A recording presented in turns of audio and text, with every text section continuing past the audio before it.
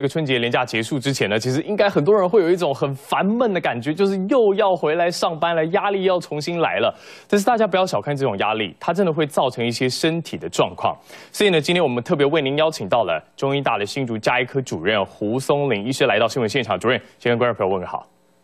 哎，各位观众朋友，大家午安。好，胡医师，我们就接续刚刚的背景提示，要跟您请教第一个问题：真的有民众会出现到压力大到掉发了，这到底该怎么办？诶，这个确实是会出现的啦，嘿，对。那压力大的一个部分的话，基本上就是也是会影响到我们毛囊的一个健康状态，然后就是会造成说我们容易掉发的一个问题出现，这样子，嘿。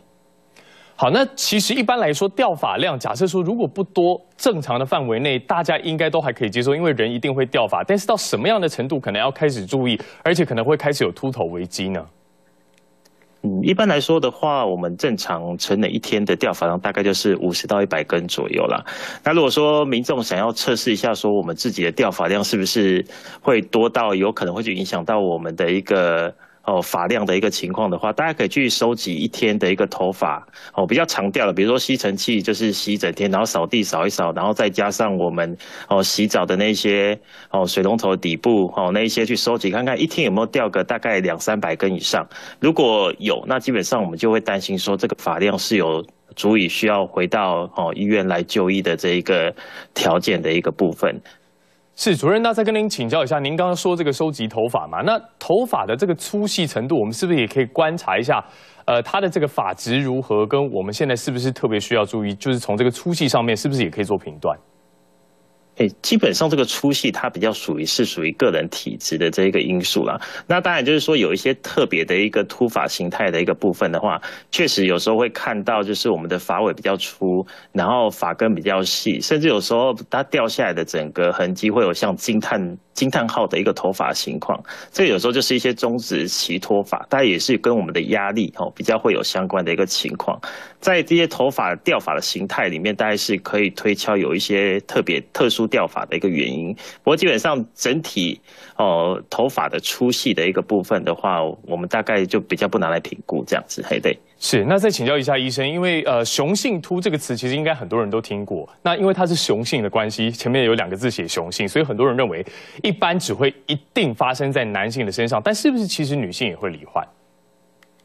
的确哦，这这个雄性秃的部分的话，在男生倒是比较常见啊。就是一般的话，就是男生的部分，他如果雄性秃的状态的话，就是会开始出现 N 字头，然后再就出现我们头顶的秃发，然后最后就会前后相连。那在女生的一个雄性秃的一个特色的，大概不跟男生的雄性秃大概不太一样。那女生的雄性秃的部分，大概会在我们中间的发际线那里的一个脱发会比较明显哦，然后甚至范围会比较扩大一点。不过详细如何，还是建议来到医疗院所再做评估，会比较容易能够找到我们掉发的一个原因。是，那除了雄性秃之外，其实还有一个迷思，我们过去可能会觉得说，哦，可能年纪稍微长一点的长辈，他比较容易会掉发，但是现在这几年是不是有逐渐年轻化的趋势呢？医师，你能观察？诶。的确哦，确确实到目前到整间的一个掉发的一个民众，大概还是中年的一个哦族群是稍微比较多一点的。那比较年轻的这个族群呢，偶尔也是看得到，不过大概都是源自于自己内心的一个担忧的一个比重稍微比较高一点哦。嘿，是，所以最后最重要的，平常民众应该要怎么样养发来减少发量呢？医师你怎么看？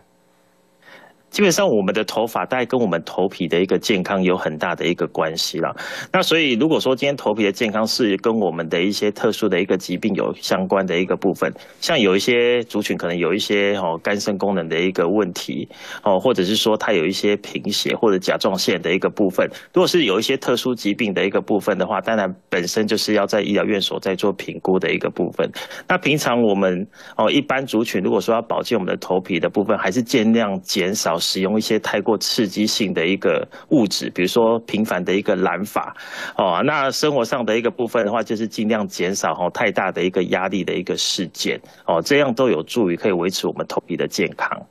好，除了维持头皮健康之外，其实刚刚医师提到这些也跟身体健康有非常大的关系。所以呢，除了头皮上面要好看之外啊，身体保持健康，有正常的作息，良好的饮食，当然还是最重要的。今天的健康一点钟探员非常感谢胡医师加入到我们的新闻现场，非常谢谢您。